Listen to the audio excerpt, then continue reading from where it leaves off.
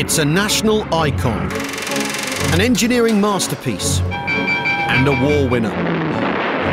For a decade, the Spitfire lit up the skies. The British Spitfire had proved to be one of the deadliest weapons ever put in the hands of man. Now it's more popular than ever. They just stand for courage and victory and all those kind of things. And at one of Britain's greatest wartime airfields, it's being brought back to life. There I was, sitting there in amongst a 12 grand lump of wreckage basically, but feeling quite pleased with myself that I now owned a Spitfire. Over the course of nine months, we'll be following this small team of engineers as they rebuild Spitfires. And it's a wobble pump. Explore their history. Gosh, look at that. And give veterans another chance to fly. Uh, wonderful. They'll be using many of the same plans, tools, and methods as their 1940s counterparts. I've got to warn you, there probably will be some banging, clattering, and. Ah. And scouring the planet for as many original components as they can find. I want 15 grand. But they're on a budget, they're on a deadline. Got to do it today, otherwise, um, we look like a bunch of idiots. And those planes have got to fly. Welcome to the Spitfire factory.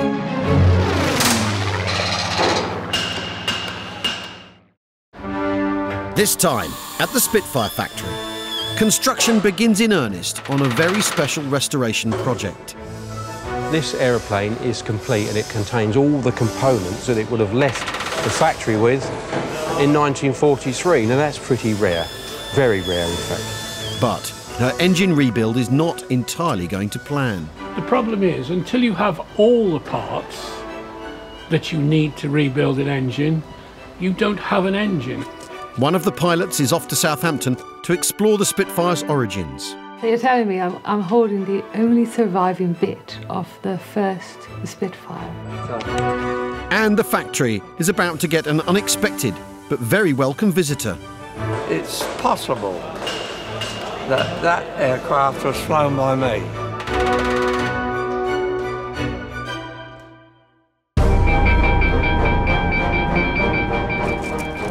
In the summer of 1940, a legend was created.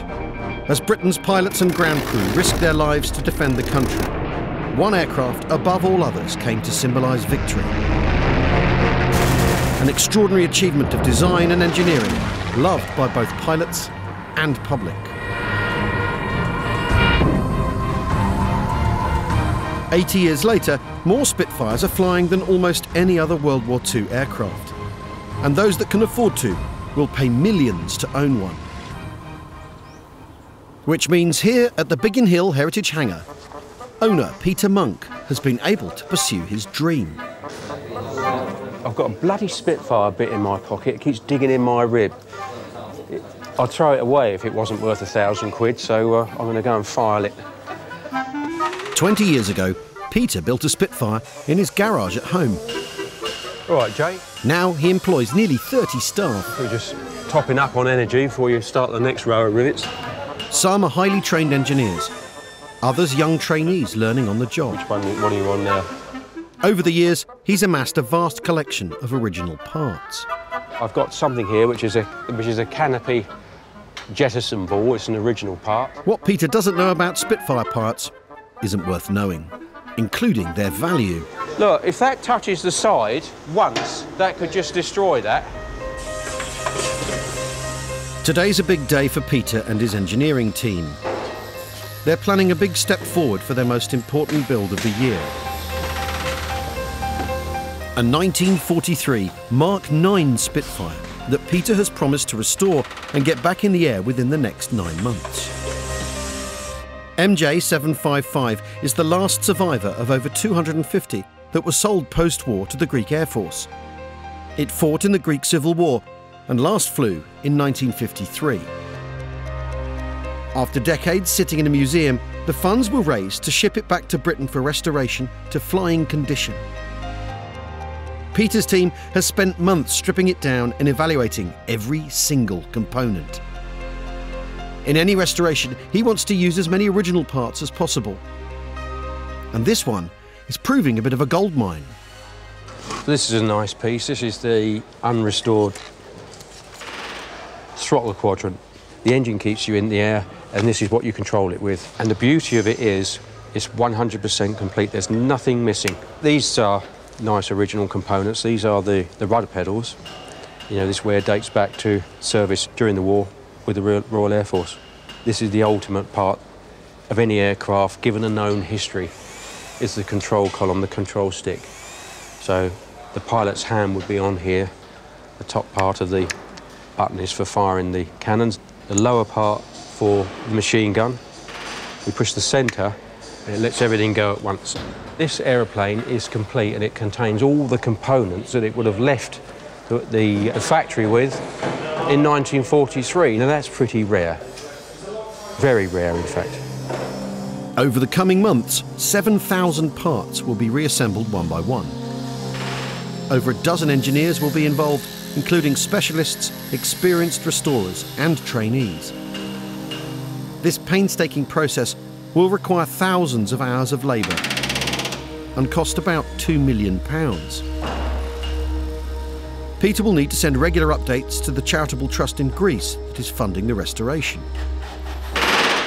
Each month I send photographs and um, a description uh, of exactly where we are and obviously a comparison where it should be on the project plan. Today, Peter's hoping to tick off stage one of that project plan. So far, the main fuselage has been assembled in a jig, rather like scaffolding on a building. The dimensions are within, all within a few thousandths of an inch, which without the jig, that wouldn't be possible. So the wings wouldn't fit. There would be so many errors within the aircraft. It's very likely to still fly, but not handle as well as it was designed to do. Now it's time to take it out. From the start to the process of uh, reconstructing the fuselage, it progresses very quickly. Then it gets to a stage where it starts to slow up because it's in the jig.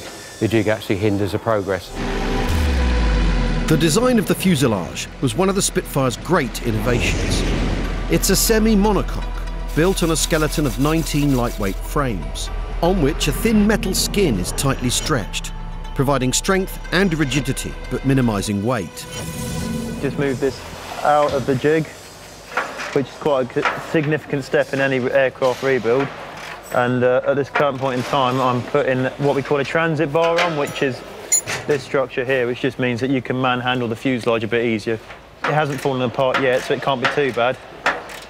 We're moving the actual fuselage jig to another position, so then we can bring back the Greek Spitfire back in its position where the, it was in the jig.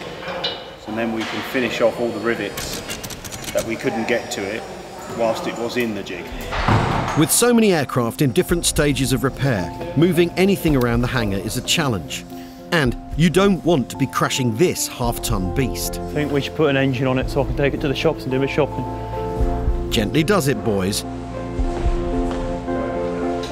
After months of painstaking work on the frames and panels, the team is rewarded with something that's starting to look a little like an aeroplane.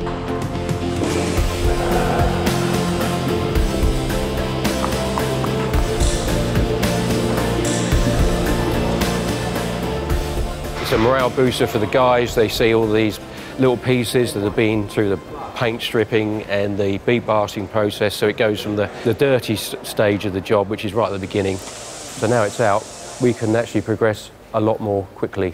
Well, now it's back in position, I can carry on working on it and um, get to all the bits that we couldn't get to when it was in the jig. The mood changes within the engineers that are working on it. They've become more excited and obviously for the owner as well they can actually start to see what they're paying for. 500 temporary fasteners can now be replaced with rivets, and work can begin on the internals. Within two months, we'll be almost at a stage of where we can't go any further without putting the wings on, and that will be the next big, big leap for the project. There are now a little under 7,000 parts and about 70,000 rivets still to go. No problem.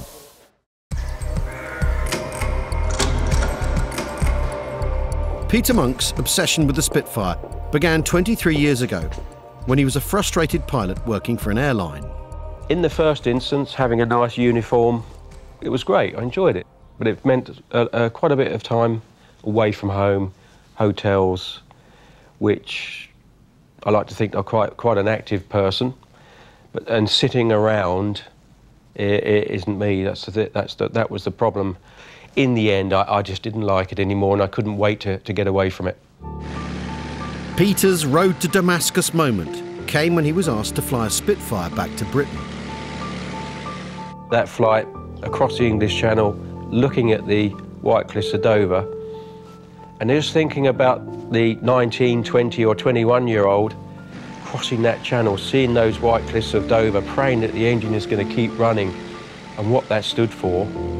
I always think back to that flight when I think about Spitfires. I'll never forget it.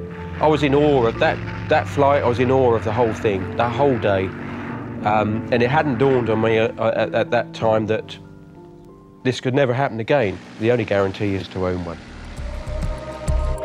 So, in 1996, he cleared out his garage and bought the rusting remains of a Mark 9. Just look at this aircraft here. Can you imagine that 23 years ago, I collected it in a transit van? It was not a great deal of it. It was uh, what what there was of it was recognisable, but just big enough to get into the back of a transit van. To the untrained eye, it would have, it probably would have looked like I was on my way to the scrapyard. But I can remember I put it on the patio at home and uh, set it up, and uh, rather jokingly, I put a, a, a kitchen chair where the seat would be, and I sat in it. So there I was, uh, sitting there um, in amongst a 12 grand lump of wreckage, basically, but feeling quite pleased with myself that I now owned a Spitfire. From there, Peter's hardest challenge was not figuring out how to build his Spitfire, but finding all the parts to do it. So this uh, rudder came from a, a Dutch car service station. It was hanging on their wall. The elevator, I was given the lead that there was an elevator um, hanging in the, in the office of a, a laundrette in the Midlands. Uh, and, and they'd been there for over 20 years. But I managed to buy it from them. We were able to use every last bit of it. I had a call from some aviation enthusiasts who said that there is a, a propeller spinner in an antique shop in uh, Sevenoaks, which is 10 miles away. I, I just didn't believe it. I went along to the antique shop. Sure enough, there it was, painted bright red. It was being used as an RAF Association collection box. The only disappointing thing is when I removed all the wooden structure, there was no money in it. it took 10 years to restore it, so it first flew in uh, December 2005. The Spirit of Kent was Peter's first Spitfire love and will always have a special place in his heart. There are other aircraft in this hangar that I have bought. I, I walk straight past them, but this one I wouldn't. I always look at it and um, have a smile and think back of how it got here, and and that's always going to be the always going to be the case. If somebody walks through the door with three million pounds, no, not for sale. But there was no way that this was going to be the end of the story. So having finished this aircraft, I just felt so deflated because I, all of a sudden, it's almost like I didn't have a purpose anymore. Following all the leads, so many deals that have been done and trades and bartering, all of a sudden, nothing. Because the aeroplane's finished, it's sitting there, ready to go. What am I going to do now? So I started another one. Peter now restores two-seater aircraft to operate flights for paying customers, while single-seater projects are funded by museums and private owners. This year, he and his team have no less than four restorations on the go, including the Greek Spitfire, which he must finish this year. Has he bitten off more than he can chew? Covered in seven-year-old crud now. Lovely.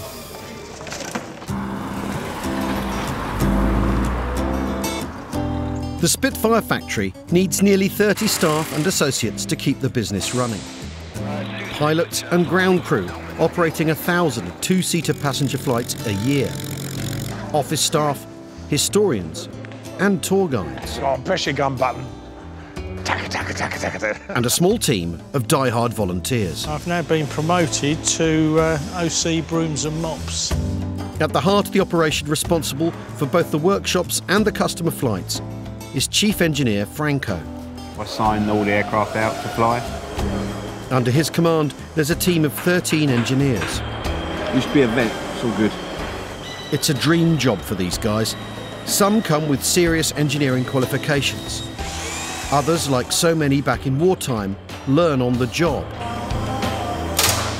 One such trainee has been assigned to work on the Greek Spitfire from start to finish.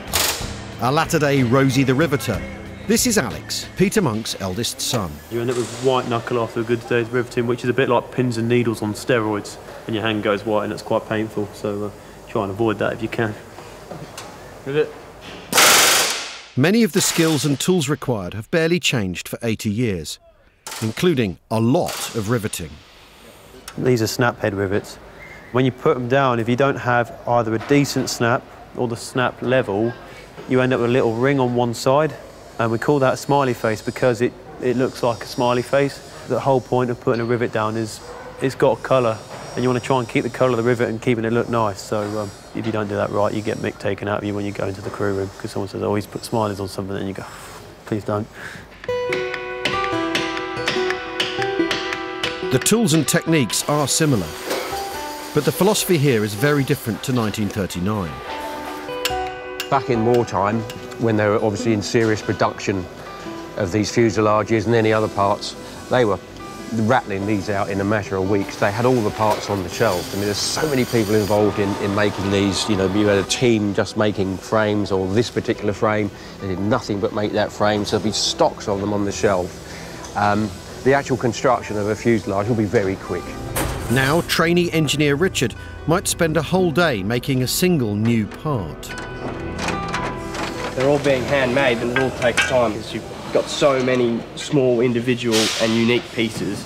You can't really just industrial, like scale, mass produce stuff like this. Peter demands an attention to detail that they couldn't afford 80 years ago.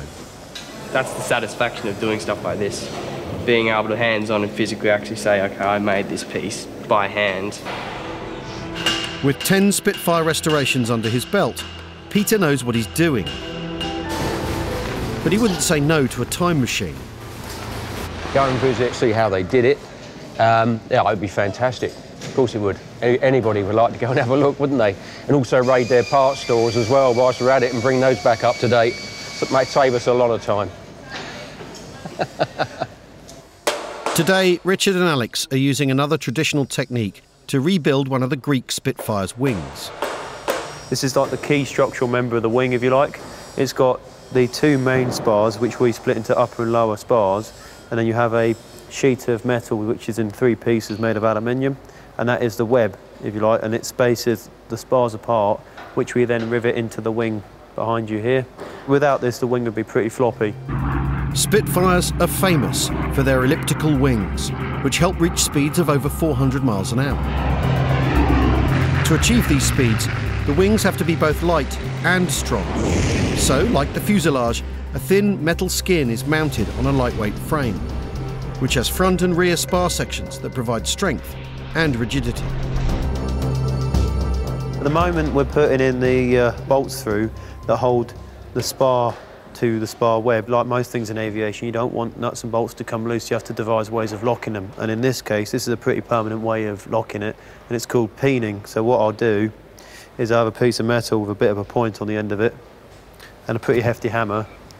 And Richard's got a, a big old weight, and he'll hold that weight on the end of the bolt to take the impact up. And I'll smack it, and then by putting the little divots in there, stops the nut from coming undone. It's seriously hard work, but Alex doesn't expect any special favours from his dad. It's not really father and son in the hangar, really. Not, not, not at all. Always running around the hangar with my backside on fire. I don't have. I actually never see you. No, I, I just see this vapour trail around the hangar, and that's, there's me at the front of it normally. But only if he's got a, a, a bag of um, chocolate peanuts that I'll go and pinch. If I want to get hold of him to actually ask a question, I have to lure him in with a bag of chocolate peanuts on the top of my toolbox. Because you can't get hold of you on the phone or anything, that's just impossible. So, rivet by rivet, bolt by bolt, Alex is learning how to build a Spitfire the hard way. It's quite cool because um, doing so many different things in the company, a chance to be a bit of a jack of all trades. This is sort of, for me and Richard, the fallback. If there's nothing else going on, we'll be working on this airplane. But there is one major component that doesn't get restored in-house. The Greek Spitfire's Merlin engine has been sent here. Hidden away in a Gloucestershire village is one of the world's foremost aero engine restoration facilities. The fact is that we're doing the, the propulsion side and Peter's doing the airframe. With his own team of dedicated restorers, Peter Watts is immensely proud of what he has achieved here. This is the engine shop. This is where all the, the, the engines are overhauled and there's various bays and each bay is allocated itself for all its parts and normally there's about eight engines on the go at any one time. Most of which are Merlins. During World War II, Rolls-Royce employed 22,000 people to build over 170,000 Merlin engines. Over the course of the war, the iconic V12 doubled in power to almost 2,000 horsepower.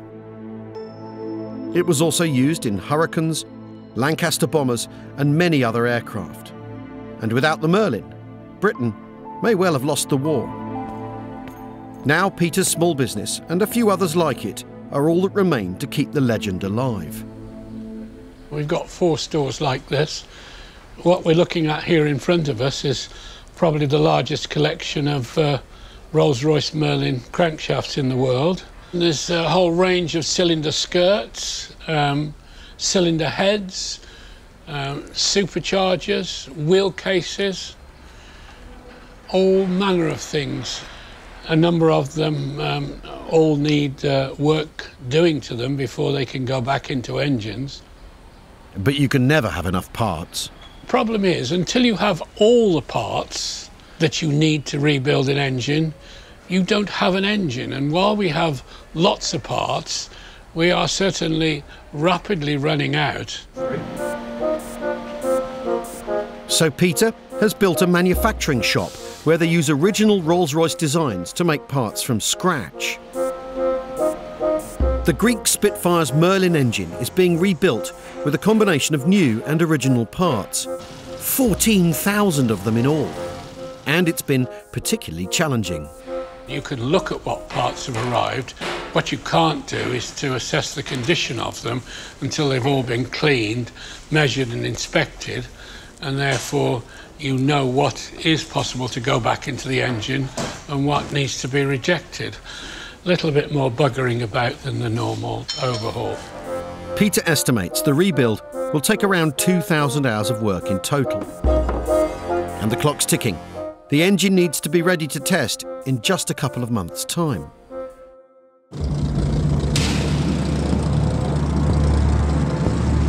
Back at the Spitfire factory, there's a problem. Suddenly looked at the air pressure and it's right down on nearly nothing, so I thought that's obviously a leak. Didn't know where the leak was from, so better to be safe, come back here. The engineer's just checked it, put the brake on, and it's leaking out the right bag. When one of the two-seaters is grounded, it's all hands on deck, and restorations must take a back seat. The Spitfire factory operates up to 12 two-seater flights a day to customers with deep pockets. Starting at over two and a half grand, it's a luxury day out that just can't go wrong. But this aircraft has a problem with its air brakes. You've got to think as an old-fashioned car with the brake shoes rather than discs, and the uh, air comes down this pipe and inflates a bag that's underneath these shoes, and it inflates, which pushes the shoes against the inside of the wheel, uh, which uh, causes the, the wheel to brake. So it's the bag underneath these shoes. It'll be probably a tiny, like a puncture on a bike, bicycle tyre. Rather than spend time fixing the puncture, Joe is replacing it. A new bladder is costing Peter a thousand pounds. But that's better than keeping the customers waiting. They are not easy to get on.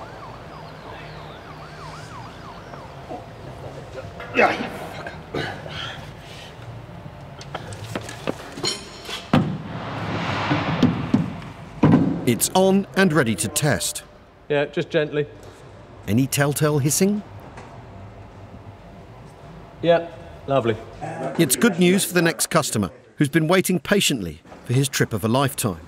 It all went to plan. Um, now I've just got to do all the paperwork. They operate a thousand of these flights a year. It's a chance to experience the speed and manoeuvrability of the Spitfire in the same skies where the Battle of Britain was won. Absolutely fantastic. And once in the air, you can even take the controls. Mitchell was a genius. It flies beautifully. Heavy engined aircraft, but you don't have to heave it around the sky. An aircraft from that era to have so much power, it was so much in front of its time. To find out why the Spitfire was so ahead of its time, one of the pilots, Anna Walker, is heading to the location of the original Supermarine factory, Southampton. Pride of place in the Solent Sky Museum is one of the planes that it evolved from. Gosh, look at that. A racing seaplane, the Supermarine S6A set a world speed record of 357 miles an hour in 1929 and won a famous pre-war air racing competition, the Schneider Trophy. Hello, how you doing? Thank you, thank you. Excellent. Museum expert Andy Jones knows chapter and verse of its history. And it was that great period when technological advances were being done through competition. So you had like newspapers or wealthy people were putting up great big prize prizes for great monetary prizes to say the first man to cross the channel, the first person to fly around a course, and all that kind of thing. The brains behind Britain's challenge was the legendary R.J. Mitchell. Promoted to Supermarine chief designer, aged just 24. Over the next 12 years, he saw air speeds double. And in the spirit of racing, he was happy to combine his own ideas with the best on display from France, Italy, and the USA. The trophy took place as a series of laps round a course, so the planes had to turn quickly as well as be fast. Over a million people came down to the Solent to watch the 1931 race, and they had to lay on special trains. Strange enough, even in 1931, they had to have special car parks for people to park in, because um, there were that number of people that came down. All the news crews were down there, the Pathé News, Movietone News, recording what was going on. It was everywhere. It was a big thing. The Schneider Trophy was won three times in succession by the RAF. Seaplanes streaking at 340 miles an hour indicated the enormous strides taken by aviation since the last war and its likely importance in the next. That year, the Air Ministry put out a call for a new British fighter, and Mitchell's team began work on a prototype. With its speed and agility, the S6 was the perfect starting point. One of the, the, facts I love about this aircraft is she looks gorgeous and she looks brilliantly, you know, sort of aerodynamic and super and sexy, super sexy aircraft. Yeah. But everything on it is functional.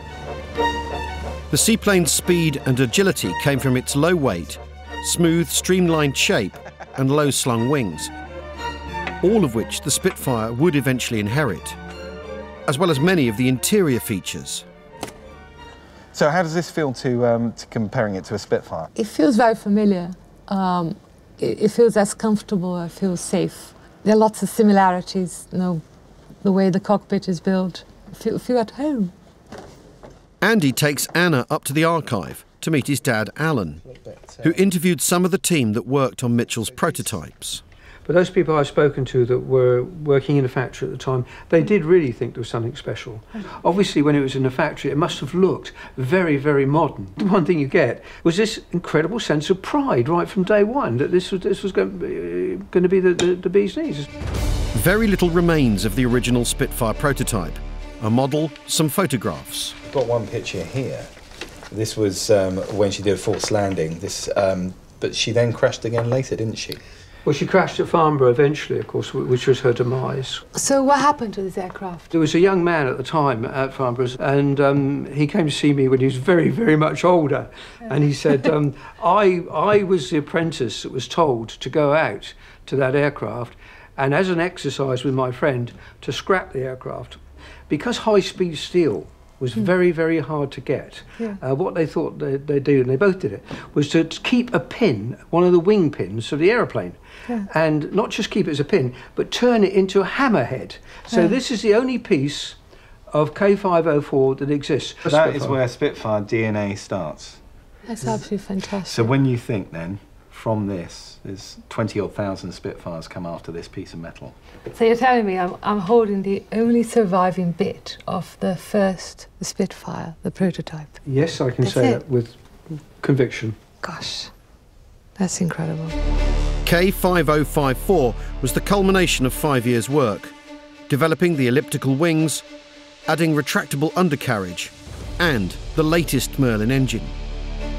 When it achieved a speed of 348 miles an hour in 1936, the first 310 Spitfires were ordered. Tragically, R.J. Mitchell died just one year later and didn't live to see his creation defend Britain from invasion. 80 years on, it remains Britain's most treasured aircraft. Every single original component is now extremely valuable. And Peter Monk owns a hell of a lot of them. Welcome to his secret hoard. This is my private store, so nobody's allowed up here bar me. This is 30 odd years of, of, of collecting, and really without these parts, we would not be able to restore the Spitfires that, that we do. Some of these parts, they're the only parts that exist. This has to be some of the most valuable rusty metal in the world. There's stuff here that's in boxes that have been sealed up for decades. This stuff is very valuable. The, some of the least valuable stuff, things that we have here, these um, Ki-Gass primers used for starting the engine. You know, the cheapest version of this is approaching 300 quid now, and I probably got um, 30, maybe 40 of them. In restoration, old parts trump new nearly every time. You could make this new. It would cost a lot of money, but this is, you know, this is an original piece.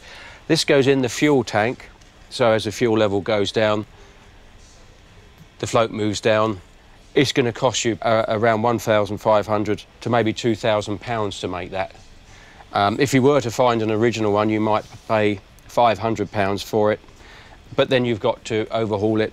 That would cost at least another thousand pounds, so the costs are very similar. I can guarantee that if I could show an owner an unopened box, such as this one that's got a component in there that we can make, they would say, no, no, can we, can we please use this one, and can I have the box?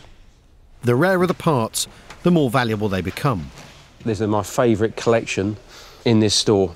Now, I can lift one of these up, they're very heavy.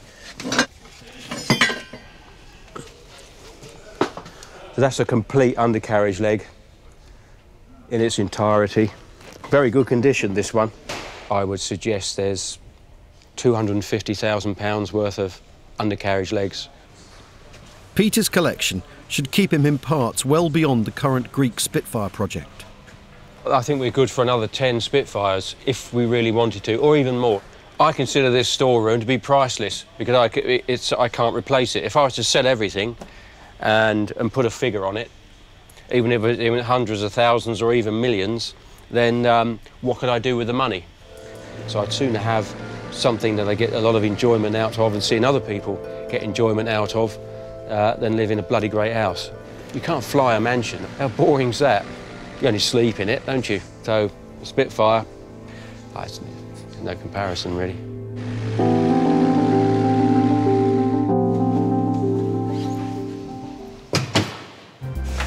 Down in a hangar, Peter's son Alex is fitting a few more thousand pounds worth of restored parts to the Greek Spitfire. What I'm doing now is I am bolting in the tail strut. So the tail wheel will sit about here where my chest is, and then this pivots like that. The tail section of a Spitfire is assembled separately. Before it can be attached, the tail wheel strut and its damper must be installed. They won't be accessible when it's all bolted together. I've been here for a while now doing this, and it's rather uncomfy and it looks a bit intimate, really, if I'm honest. But you know, it is what it is. This is a critical for us for getting it mobile. With the with the tail on, we can put the the tail wheel assembly on, um, which will make the make the fuselage mobile because we're preparing to take it round to the paint shop. Enter the holder uppers. I want to attack it with a death wheel. Wartime workshops employed hundreds of unskilled workers, mainly women, to hold bits in place for the riveters. Come on, boys, they're missing. Get it on there. Yeah, yeah. Alex gets some burly blokes instead. Right, drop it down at the back. Hello. Thanks to the precision of the jig work, this should line up. Mind your fingers. No. It's hard to imagine thousands of planes being built this way during the war. That one's pierced. No. That's it, go on, go on. Yep. You're in. You're right. Finally, it's in position. And Richard gets the job of putting in the bolts. From the inside, Have you got any at the top yet? There's no other way you can bolt this up other than having someone in there putting the bolts through one at a time and bolting it together. Can you get a couple of 2BA ones up high? Luckily, at the moment, all the wires and cabling aren't installed, but it's still very challenging, and only really sort of quite skinny people can really actually do this. That's the reason why I'm doing it. What happens is when you get your Australian and you put him in a confined space, it tends to make him a bit unhappy. There you go, you can have my finest Allura 2BA spanner.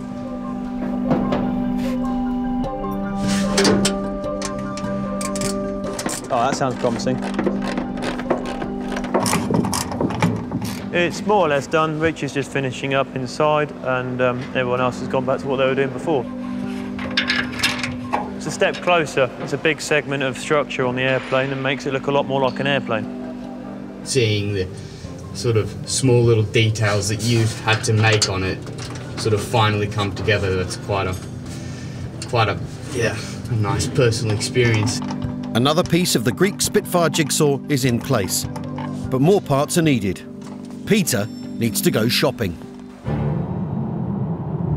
Despite his vast collection of Spitfire parts, Peter Monk knows that every build requires some pieces he doesn't have. So today, he's off to visit an old mate and sparring partner who may have a fuel gauge he needs for the Greek Spitfire. The stuff I've got here is um, extremely rare. This is our sort of holy of holies of store parts. This room is completely stacked out with stuff, and it's the result of 40 years of collecting aircraft spares. Guy Black also builds new parts and has his own restoration projects. So he's not always keen to share. Duncan? Yes? Could you just hide something for me? Guy does not uh, openly sell these bits and pieces. You won't find them advertised, and Guy doesn't need to sell them. He's a collector just like me and prefers to hang on to stuff. Yeah, over there somewhere. So the fun here is if Guy's got a part that is useful to us, how am I going to get him to, to let it go? I've sort of got the idea of what he's looking for half the time. Um, and the great challenge is to stop him taking the last bit I have. But he has this uncanny knack of spotting things that I've hidden away. Let battle commence. Good afternoon. Well, general look around? Yeah, well, this is the, the main oil filter for an early Spitfire or indeed a Hurricane. And we've, we've got a, a future project where we're going to need this. We don't actually need it for another two years, but I'd rather make sure we've got it in the bag because in two years' time, it, I can guarantee it won't still be on that same shelf. This is a special place, and there's parts in here that you won't find anywhere else. There's always something that uh, catches my eye that I know that Guy isn't going to let go. If I had my way, I'd turn up with a truck and just take it all, but that's not going to happen. Ah. He's found the fuel gauge. Does that look about right? Yeah, that's the one. Yeah. But Peter's not stopping now, and soon he sniffs out some of his favourite parts undercarriage legs. Of course, Guy knows it's a component Peter will pay almost anything for. What are you looking for, Peter? Corrosion. But these are very good. They look very shiny inside. I want 15 grand.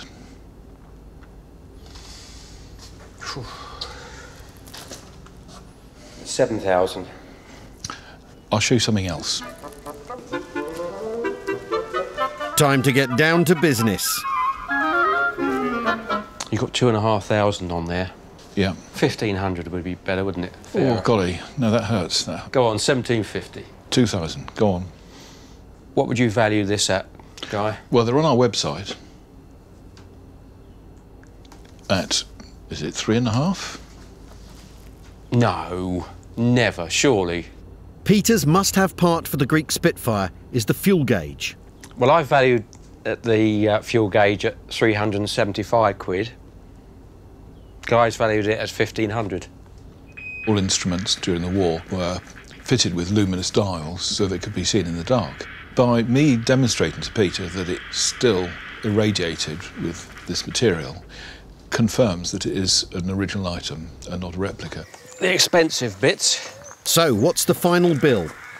£400 for the fuel gauge and just over 15000 for everything else. What you're trying to do is present to someone an aircraft with the highest amount of original material possible in it. So you can say, um, and it's not a, a, a replica. That's it. It's not always about just money. It's about knowing it's going to be used properly in the right aeroplane uh, for the right reasons. All right, Peter. And, um, yeah, see, you next time. Yeah. yeah, I'll start saving up. The two friends decide to call it a draw. Back at the hangar, there's been a steady stream of visitors all day.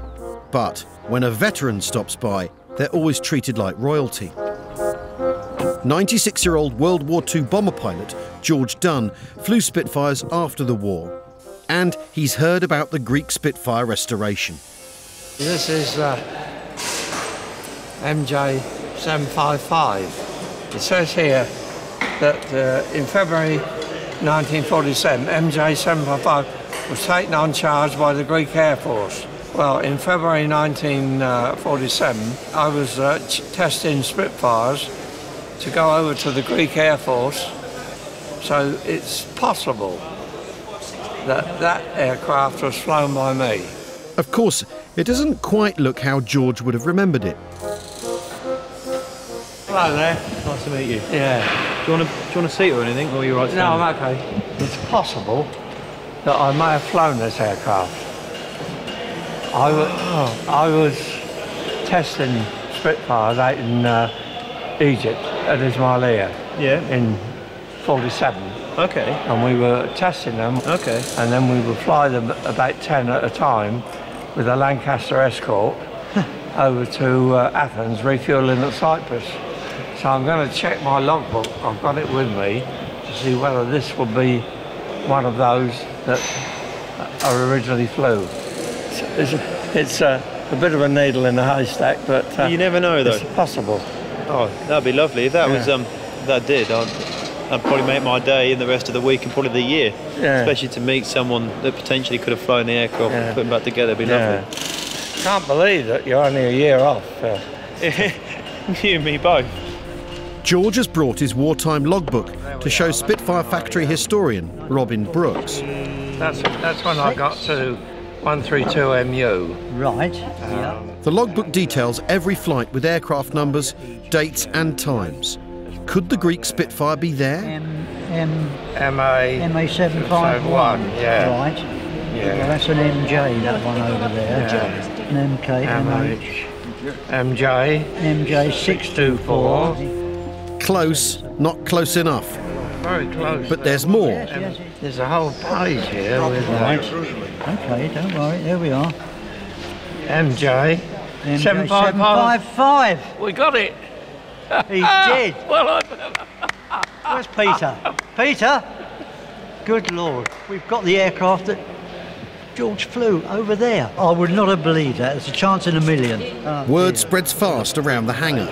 Yeah, a 755. Yeah. MJ 755. Bloody hell. How about that? And this boy's work rebuilding it. That's Alex's day, week, and year well and truly made. And George is the new Spitfire factory hero. Who would have believed, believed it is in our hangar here? We have the very gentleman who flew it. Unbelievable. if him upstairs is uh, looking after me, I'll, Oh, I'll I'm be sure back. we will. I'll try and get it done a bit quicker for you if you want. okay. It's a tradition for veterans to sign the inside of the cockpit door. And it's extra special when George actually flew the plane. right. Thank you very much. That's made my day, that has. Made mine.